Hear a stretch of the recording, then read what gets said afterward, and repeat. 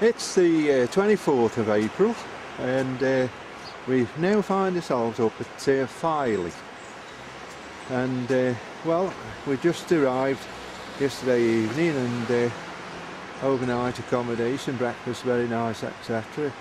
It's only a fairly, fairly small place this is. Uh, I'll just turn the camera around for the view the other side.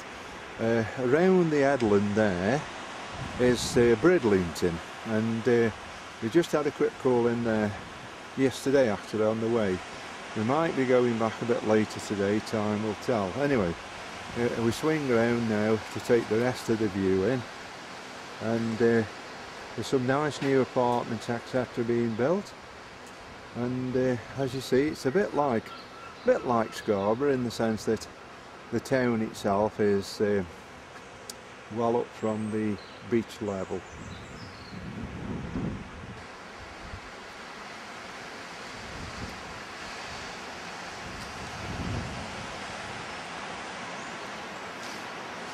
As you can see this, this end of the promenade, they've got some few chalets.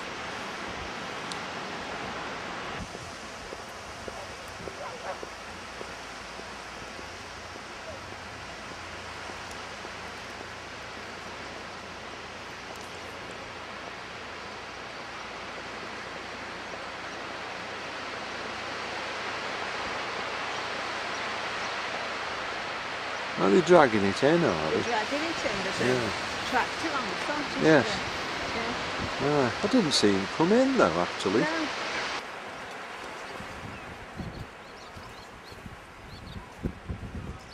Oh, we've just uh, walked from one end of the promenade to the other, and this is just where they they drag the um, fishing boats up.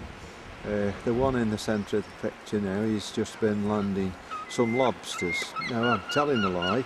It was crabs actually, not lobsters. Two or three boxes. So, it presumably got nets, etc. out there.